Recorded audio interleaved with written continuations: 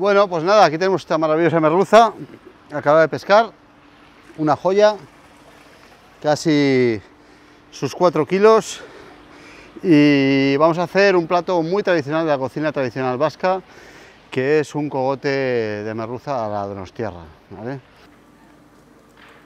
Los pescadores tradicionalmente pescaban la merluza y eh, enviaban a los grandes mercados, a las señoritingas de Bilbao, a las señoritingas de Madrid, les enviaban lo que apreciaban, que era la cola. ¿vale? Entonces cogían normalmente, cortaban por aquí, enviaban la cola maravillosa para que estas señoras cocinasen en su casa y ellos se quedaban con la cabeza. Esto, que al final es la cabeza, que es la parte más jugosa, más sabrosa, más maravillosa de la merluza, es lo que al final los listos de la gente del pueblo nos comíamos y hoy se ha convertido en un artículo de lujo.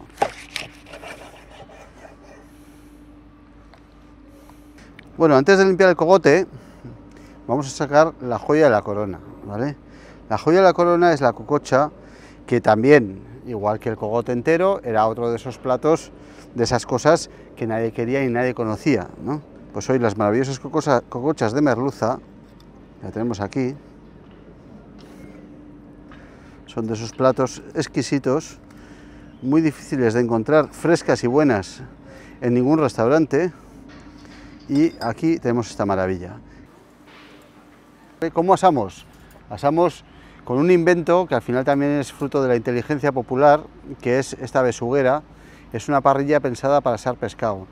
La, ventaja que tiene es que al final en una parrilla normal como la que tenemos aquí, si echamos el pescado encima, como su fibra es diferente, eh, normalmente se nos engancharía. ¿vale? El poderlo tener aquí, poderle dar la vuelta y trabajarlo, nos permite mantener la integridad del pescado entero.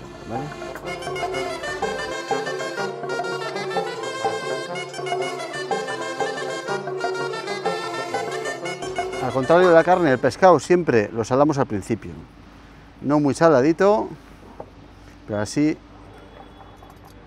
él solo coge lo que necesita en la parrilla. Y de aquí al fuego, listos. Empezamos por dónde? Siempre por la parte de la carne.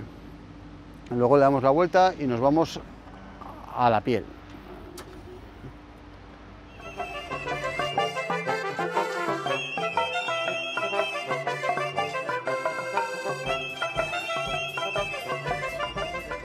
Pues nada, salsa donostierra.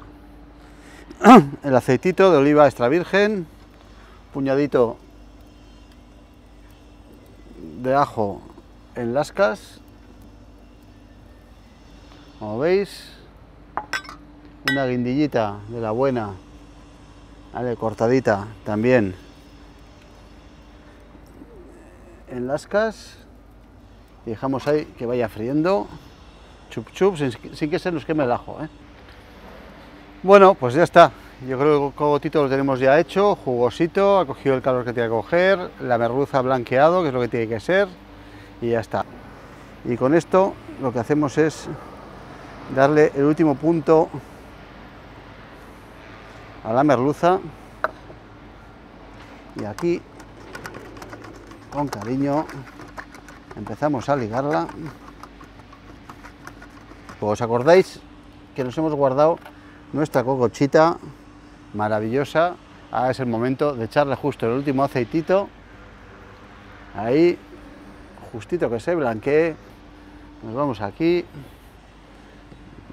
Le damos un golpecito de perejil. Echamos cuatro gotitas de vinagre de sidra que tenemos aquí guardado. ¿Os acordáis? le eleva el sabor, le da un aroma muy nuestro en nuestra cocina y esta es la verdadera salsa de tierra. Y ahora napamos otra vez con toda la salsita, que solo le falta la perla, que es esta. Su cocochita ahí, dominando la situación. Bueno, pues ya tenemos aquí nuestro maravilloso cogote de merluza a la donostierra. Es yo creo de esos platos exquisitos, eh, de la sabiduría popular, de aquellos platos que los pescadores antiguos que eran pobres sabían que eran lo mejor de la merluza y a los ricos le mandaban lo que no había que pensar y se podía comer muy fácil. Aquí está todo el sabor, toda la tradición y todo el orgullo de nuestra cocina. Y nada, vamos a celebrarlo con un poquito de chacolí también de la tierra.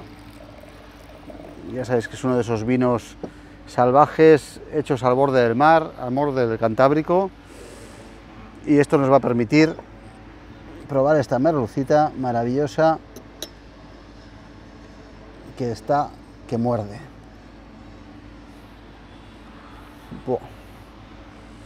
Único. Chin chin.